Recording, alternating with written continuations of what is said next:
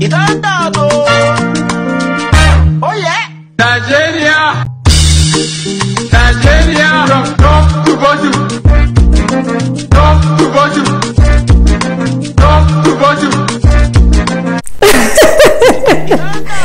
guys from top to bottom like sincerely because that, that's it seems we've been going on recently but god forbid that we continue going on like that guys. So guys i'm going to just dive into this video. Now remember in our last three videos we talked about elections and i asked how prepared you were for elections.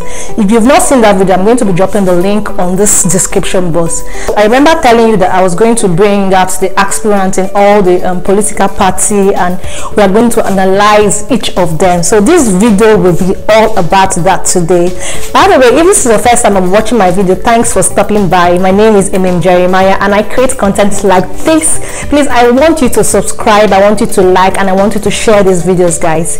Okay like let's go deep. So guys everything i'm going to say is in the public space. I didn't make up everything. You can also do your researches. Now basically this video is for people that has been indecisive. They don't know who to vote. They're confused. So i'm just going to um, clear up your doubt. So if you're still doubting i don't know who to vote they're all the same. This video is just basically about clearing all those i'm going to be mentioning the um, the main parties that we have contesting. That is the pdp the apc the lp and the nnp okay now let's start with um, PDP. The candidate for PDP is Atiku Abubakar. Okay, he is a retired custom officer. I think he served there for like about 20 years or so. Then Atiku Abubakar was a vice president to um, Obasanjo. I think that was for eight years, 1999 to 2007. And guys, during that period, according to the book that Olusegun Obasanjo wrote called The Watch, you can go and check out that book it was power you guys. It was power. Yeah. I have no personal issue with Atiku, but if I then, with what I know about Atiku, which you can read in my book. Okay, read the book. Are you a member of his family? If, with what I know about Atiku, if I have put Atiku forward, God will not have forgiven me. He actually called Atiku a shameless liar. Okay, guys, that's not even the thing. During that period while he was vice president, he was accused of siphoning public funds, guys. Public funds to to U.S. Um, offshore accounts through his wife. His company that was in U.S. was actually actually tried and sentenced. When Atiku gets to know that he was about being investigated in U.S., you know Atiku did? He sold off his property that was in U.S. and relocated to Dubai. That is where he is still now. Now he calls himself the unifier, guys, the unifier. But something happened recently that made us start doubting. Like, guys, I don't know if you all know about the Sokoto case. Deborah Christian girl that was murdered in Sokoto. Guys, Atiku condemned that thing. After a while, Atiku deleted that tweet. Remember, you're a Muslim. A Muslim committed a crime. You came, you complained, and after a while, you deleted that tweet. People keep asking, like, why does he have to delete that tweet? According to rumors, we heard that the Islamic extremists told him that they were not going to vote for him coming 2023. Because of that, he went and deleted that tweet. Now you will recall on the 23rd of March this year, when I stood before you and Nigerians and declared my interest to run for the office of the President of the Federal Republic of Nigeria. In that statement, I made a commitment to five issues. One, to pledge to unify this country. And that was why I referred myself as a unifier. I've searched everywhere, but I couldn't see a clip guys that would bring a good light to Atiku. I have not seen. So much for a unifier. As I'm talking to you guys now Atiku is in Dubai. What is he doing in Dubai still someone that is coming as a president. You shouldn't to be here to actually see what the masses are going through. But he's in Dubai. He comes and does the election stuff and go back go back to Dubai. Since he left US guys let's go to uh, APC or uh, Ahmed Tinubu. Hmm.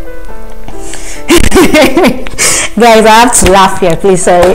he was an accountant before he ventured into politics full time.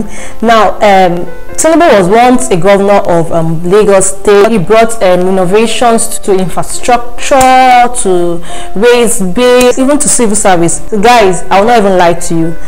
Bola Tinubu is loved he's loved by people that love after he came down from being a lagos state governor he was still so much involved in Lagos politics. He was working like godfather and over a while he got that name Jagaban. He was still in charge of Lagos State Street Finance. He was he, he was a lot of things, guys. When you talk about politics in Lagos State, I don't think you can call two persons before calling Jagaban. That's Bola Ahmed Tinubu. When Tinubu was asked of his plans for uh, unemployment, did you know what he said? Okay, let's watch this video. 50 million youths into the army and the uh, take away from their recruitment source. What they will eat, cassava, uh, àgbàdo, uh, corn. Guys, 50 million youths to army. 50 million youths. Do you know how many they have in army already? I don't think they are 300,000 and you are and you want to recruit 50 million youths. That means you want to recruit the whole Nigerian to meet uh, and, and he said we should eat corn. Now the question you ask, does he have a child in the army? Does he does his children eat ekpa every day and corn every day? Do they? Now the reason why is that he claimed to have given us Buhari guys like can someone even brag about that? Like I gave you the current president. Now there's this recent video that David Hundeyin posted. Now watch that video.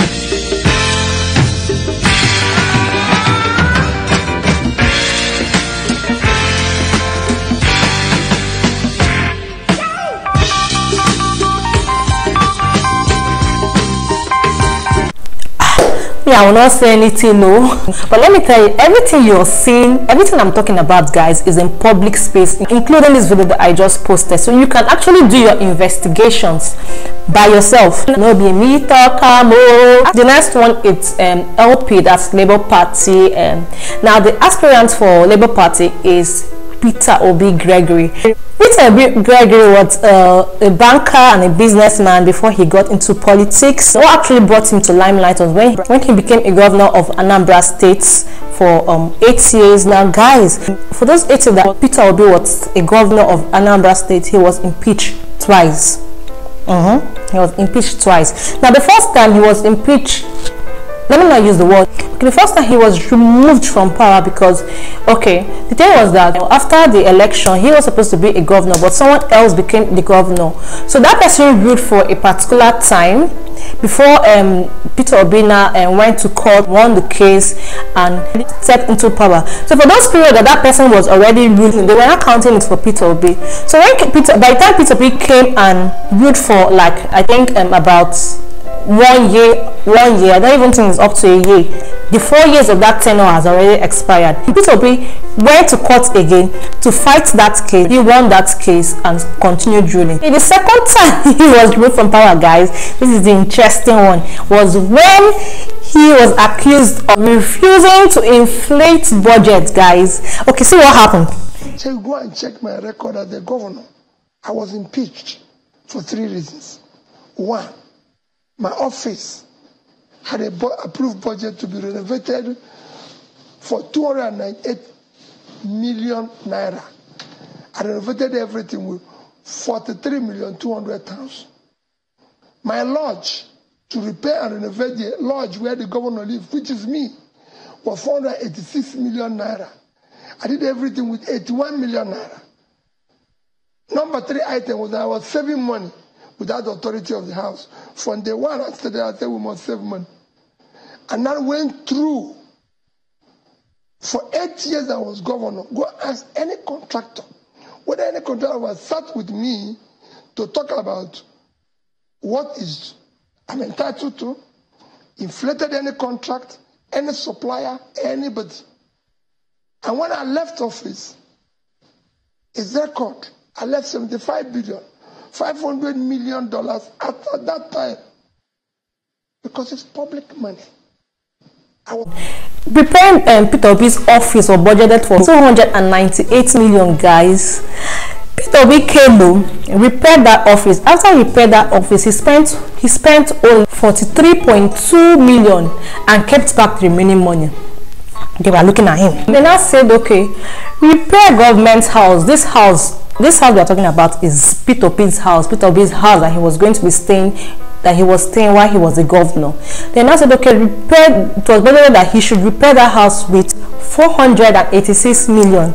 Guy, Peter Obi renovated that house with 81 million and kept back the money. That was when these people got angry, guys. And said, no, no, no, no, no. This money has been signed already. This money has been budgeted already. You're supposed to bring that money. Let's all share it let's not share it. And peter obi was like no. They had things to do with money. This was how peter obi again was impeached. Peter obi took them to court won and went back to sit. During primaries peter obi was contesting under um, pdp but after he won he left pdp and went to join the labour party that's the lp and that was how he became the presidential aspirant. Okay let's watch a video of um, peter obi. So when i leave We know anybody gratuity. We know anybody pension. Mm. We know anybody salary. Oji una dey hear.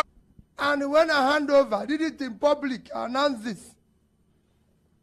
And I say, we get three banks for Nigeria. Bank number one, Access Bank, they still there. The managing director that and uh, person they call Ike Mokode. I say, Ike, have in your bank 12 billion naira.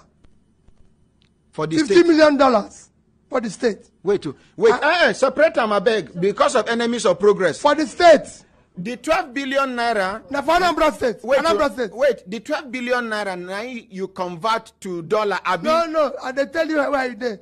I say, managing director, in your bank today, mm. Anambra State government, uh, we get 50 million dollars 12 billion naira. Say yes. I say, give am to this man where they come in. Now be the new As governor. governor. I call Diamond Bank. I say, LSOT. Now he be managing director. Yes. Stand up because they did there. I say, I get in your bank $50 million, 12 billion naira. Say yes. Say, give am to this man. Now they come in. I call Fidelity Bank. Say, Regional there. Now, if you managing director, say yes. Say, I get $56 million, 12 billion naira. Give it to this man. Okay, after then, guys, now let's talk about NNP. The presidential aspirant for NNPC is um, Ruby Kwankwaso. I, I hope I pronounced it well. Okay, Kwankwaso was the one um, gov um, governor to, um, to Kano State. I think he is loved by his people. There isn't much I can say about Kwankwaso. I think he has been um, just there. He was once in APC for some reason best known to him. He left MPC and went to um, and opened a new political party called NNPC where he is the um, presidential aspirant for that party. Okay, now I'm going to be playing a clip of Kwankwaso to sure, you. Whatever we are going to say to Nigerians in terms of failure of uh, APC and uh, PDP is what everybody knows. And uh, nobody is in doubt that whoever they put will only continue with the bad work they have been doing in this country. All those people I have called, um, Atiku Abubakar, Peter Obi, Bola Ahmed Tinubu. Okay, let's start from Atiku, guys. Atiku has been contesting since God knows when. Since God knows when, he has been contesting for president. Now, what do you see? You see a desperate man that really wants to be a president of Nigeria. Okay, Bola Tinubu, on the other hand, has used his mouth to say that it is his turn to be a president in Nigeria. Like, guys, I don't understand. It is your turn. Like, is it done by turn now? Meanwhile, Peter Obi says he's not desperate to be um, a president of Nigeria. The thing is that people have succeeded to make this about um, tribes. Unfortunately, it is east, the north, and the west. So they have succeeded to make this all about tribe. But guys, this is not all about tribe. Now, I would want you guys to um, do more research. I am not a politician. I might not even be the right person to tell you this but like this is like the little that i know.